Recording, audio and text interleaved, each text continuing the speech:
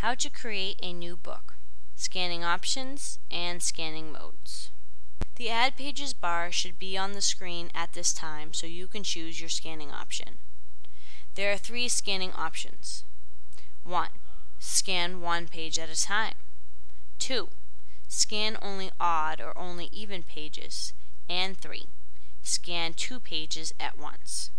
The default selection is scan one page at a time. Scanning options, one page at a time checked.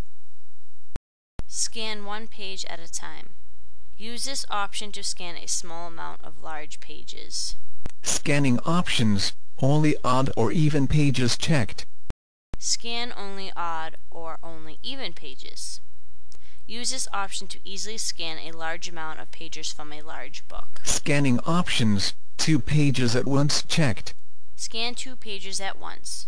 Use this option to scan small books. If you place the open book under the camera and both pages are inside the Zoom-Ex legs, you can save both pages at once.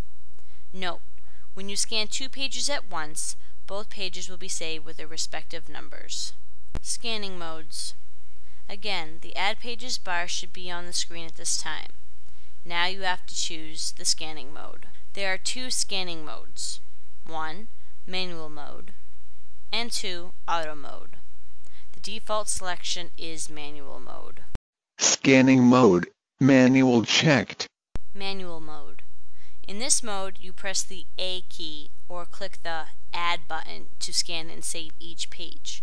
Note, blind people may find this option difficult to use and might want to use auto mode. Scanning mode, auto mode checked. Auto mode. In this mode, you only click the Start Auto Mode button once to start scanning slash saving pages. Then simply turn the pages. The Zoom-Ex camera has a motion detector that will save each page as soon as the page is motionless. Auto mode allows you to use both hands to hold the pages in place since you don't have to operate a keyboard. Now that you have chosen your scanning option and scanning mode, you are ready to learn how to add pages to your new book. Please view the How to Add Pages to a Book training video located on our website.